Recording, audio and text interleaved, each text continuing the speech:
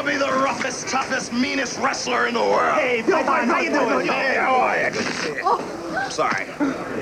But now, I've mellowed out. Excuse me. And there ain't nothing I like better than hanging out with my friends and sharing some Miller Lites. They love it because it's less filling.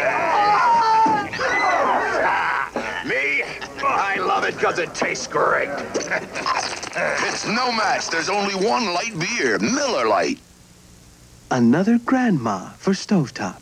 I used to make my husband potatoes every night. And then one day he said he'd be missing supper because he had to work late. I thought, that's strange for a milkman.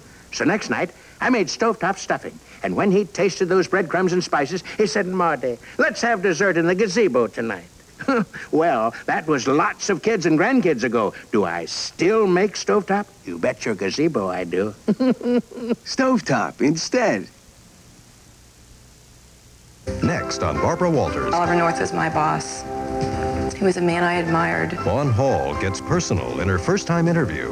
I remember giving my opening speech, and I, and I was scared. I was shaking. The Barbara Walters Special, next.